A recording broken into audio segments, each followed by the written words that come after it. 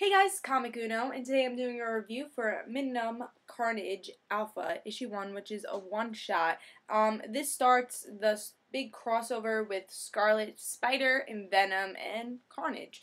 Um, and I think this is a two-month uh, crossover, which I actually only thought it was this month, but we get to see this in Scarlet Spider, Venom, then we're going to see in Scarlet Spider and Venom again, and then we have another one-shot called Omega instead of Alpha. Um, so I thought that was pretty cool. At least we get two months of this cool crossover that has actually been really looking forward to. Um, but before I start this review for um, Minimum Carnage, I just want to say that I have two reviews on Dark Avenger Inc. Um, Earth 2 and Smallville Season 11, which I usually do on Comic Uno. Um, but I didn't want to um, bombard you guys with reviews, so I put um, some on Dark Avenger Inc. So if you want to check out those reviews, the link to Dark Avenger Inc. is in the description below, so go check out those reviews. And if every uh, week, if I just have a lot of comic books and I just feel like I just don't want to put them all on my channel, then I'll just mention in the beginning of the video which ones are on Dark Avenger Inc. Uh, let's start this review for Minimum Carnage. Um, so the first half of this, uh, well, let's talk about the cover actually. Uh, love this cover. It's great. Love the kind of, alright, here's, oh, well, here's Scarlet Spider. Here's Venom. Here's Carnage. Let's see what happens. And the art is great. So, uh, definitely, I was actually looking forward to this because I am a big Scarlet Spider fan. Been loving the series. And Venom, I read issue one, but I didn't really continue it. I was like, oh, I don't love it, but, you know, I think Flash becoming Venom is very interesting, and you know maybe one day we'll pick it up and trade. Uh, but now I have a chance to read Venom and Scarlet Spider because I've been reading Scarlet Spider. But um, to see them crossover is very interesting because they're both in the Spider-Man universe. Um, well, you know, related to Spider-Man somehow, and um, I think that's very interesting. And um, just see how they kind of react to each other because they have two different personalities, and just bring Carnage in that. That's a pretty good uh, story. Uh, but let's see what happened in this story and see if I enjoyed it. So in this first half, we get to see Venom. He finds out, all right, um, uh, Cletus Kasady, who is uh, Carnage, who's the host of Carnage, um, escapes jail. So he's trying to figure out, all right, so how do you escape jail? All right, well, there's this Carnage. I'm like, he's like, all right, who's Carnage? Let's figure this all out. So he's figuring out exactly who Carnage is because he doesn't really know who Carnage is. Um, so that's Venom's half. The Scarlet Spider's half, he knows who Carnage is. So right when he sees Carnage, he's like, all right, this is Carnage. I need to defeat him.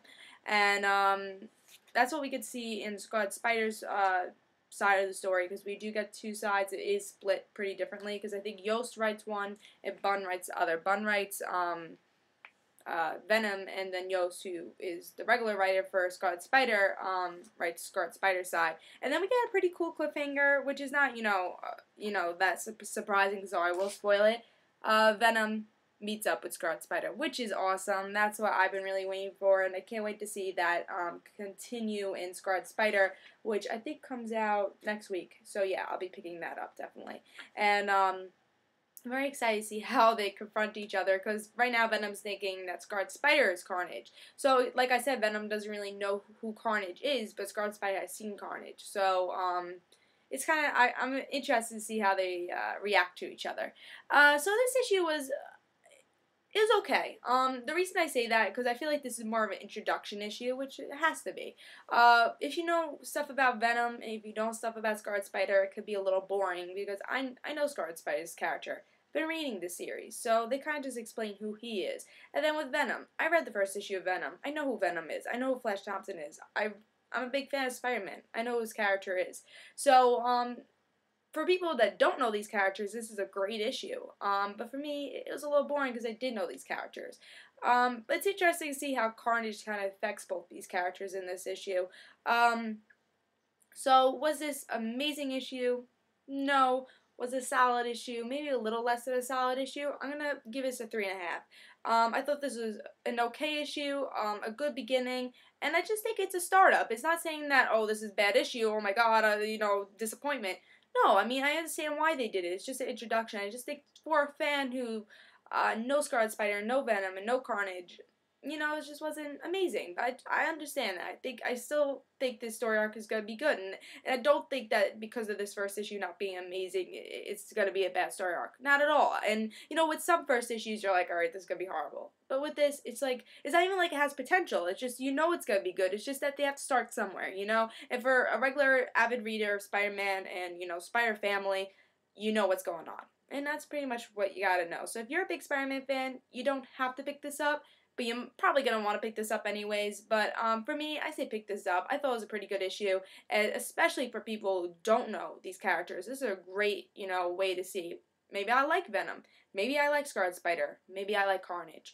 Um, and that's perfect way with this um, with this issue. And the art is good. You know, we have the same art that we usually get with these series. On um, one side, for the Venom side, it's the Venom art, and then with the other side, it's Scarlet Spider art, which I enjoyed because that's the art what we're gonna be seeing with you know Venom and uh, Scarlet Spider. We get to see examples of both.